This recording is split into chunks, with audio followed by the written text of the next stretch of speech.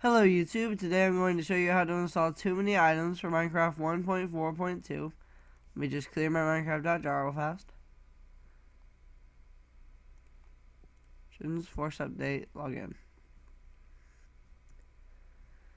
Just a second.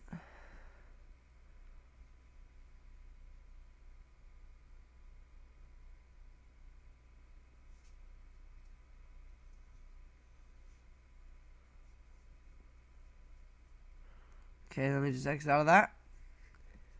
Open up too many items. I will give you a link to download in the description below. And Go to percent app D A T A percent enter. No capitals other than the uh, percent and the percent.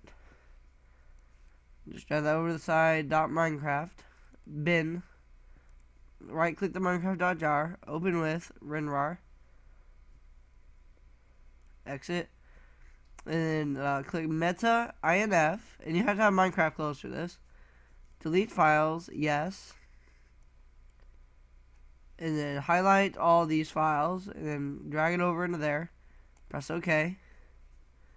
And exit out of all that. And open up Minecraft, and I will show you that this definitely works. You click login. Load real fast. Single player. Just click a random world. It's loading.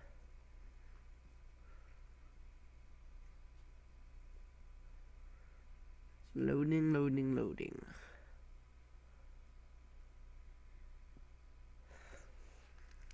Okay. Now you should have this and all this good stuff. And then uh, if you left click, you can uh, get 64 of everything. Let me just delete those real fast. And then, as you can see, I don't run that good of a computer, so it'll be laggy. Uh, and then you can left click and you can grab one of everything. If you hold shift, you can grab and hold shift and left click. You can grab you can grab 111 of them. And uh, delete mode is that. And when it's on, you click stuff and it deletes it. And you can change to survival, creative, adventure, uh, rain and snow. You can turn that on and off. You can set it to sunrise. You watch. Uh, to noon probably see in the dimness and the night. Then you can change the difficulty.